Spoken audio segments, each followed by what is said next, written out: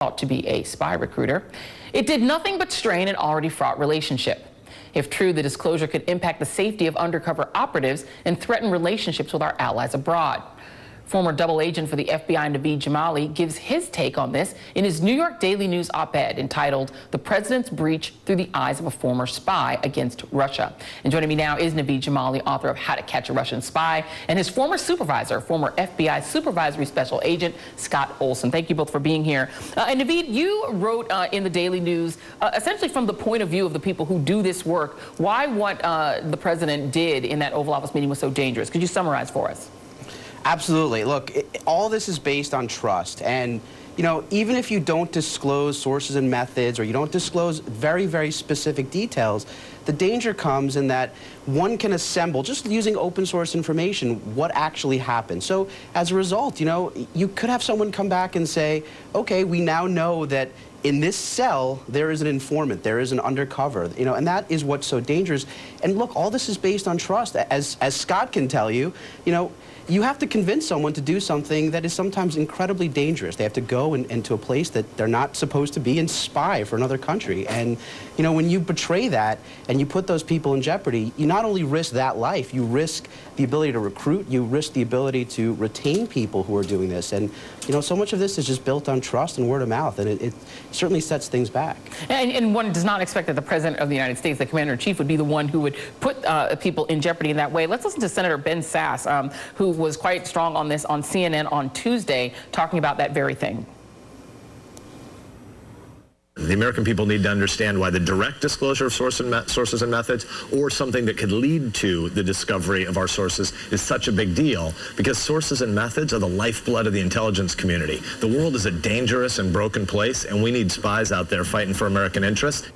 And you know, Scott, uh, David Frum wrote in the, who is the editor at The Atlantic, he was even more stark about it. He said American military and intelligence agencies must assume from now on that the President of the United States is a security risk. He cannot be trusted to protect state secrets. If you were still trying to recruit the next Naveed Jamali to work for the United States, would you be concerned that the President of the United States poses the biggest risk to their security?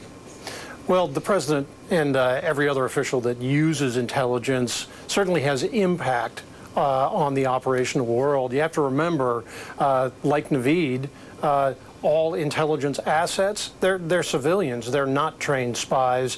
They are being uh, coached by uh, the, the people that worked for me uh, uh several years ago, uh, coached uh, Naveed. but they're civilians, and they don't understand this world, and they are rightfully nervous to all of a sudden be a part of this world. and when they come back to you with, hey, I just saw something in the news, is this a problem? It becomes a problem simply because they view it as one. So how intelligence is used, separate from disclosing sources and methods, how intelligence is used really impacts the operational environment because you're dealing with civilians. Yeah, and Clint Watts, who is, is you know, no civilian, he worked for the, uh, he was an agent with the FBI, Naveed. This is um, how he put it uh, back on March 30th when he talked about sort of the Russia angle of it when he's testified before the Senate Intelligence Committee. Take a listen. Is Russia's meddling in our 2016 elections proof the United States is dealing with a nation that is acting in its own warlike manner? Yes. Uh, my biggest concern right now is I don't know what the American stance is on Russia and who's going to take care of me. I mean, after years in the Army and the FBI, uh, working in the intel communities today, I'm going to walk out of here and ain't nobody going to be covering my back. And Naveed, if you were still, you know, working as an undercover, working, um, sort of trying to convince the Russians that you are spying on their side, would you today be concerned that the current commander-in-chief um, would not be watching your back?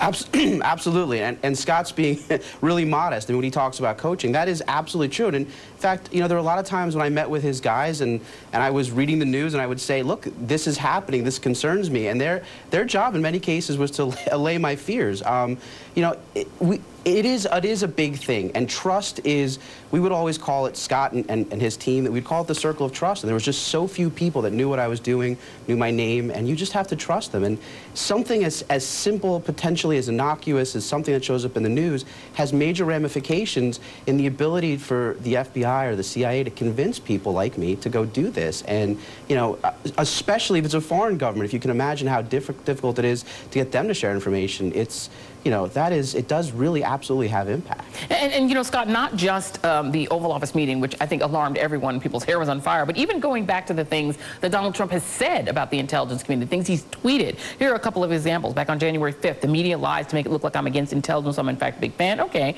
Um, but on a January 11th, he tweeted, intelligence agencies should never have allowed this fake news to leak into the public. One last shot at me. Are we living in Nazi Germany? Essentially comparing members of the intelligence committee to Nazis.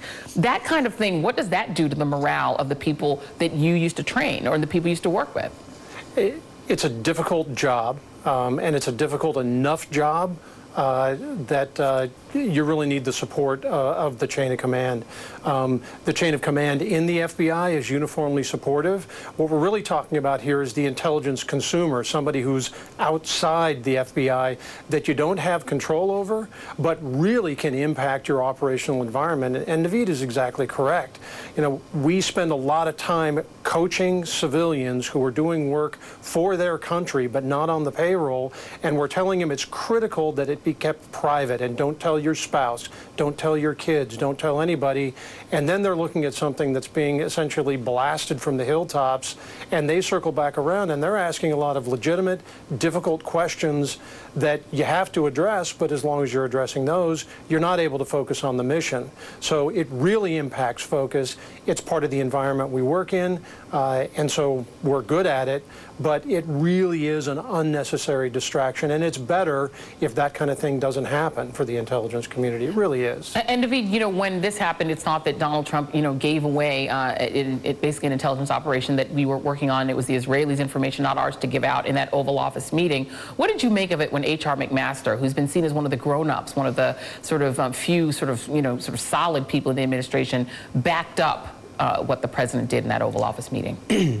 Well, I think that it was a very carefully phrased um, statement. I mean, he said sources and methods, and while, again, parsing the legal language that may have been true, the reality is the identifying information was there. So I, felt it was a very sort of neutral statement that sort of supported the president, but kind of didn't. So, yeah, you know, I, I go back to what, uh, what Scott said. It this has an impact. Yeah, and uh, we will see what we get in the next FBI director, whether or not they can improve it. Naveed Jamali will be back in our next hour. Scott Olson, thank you very much.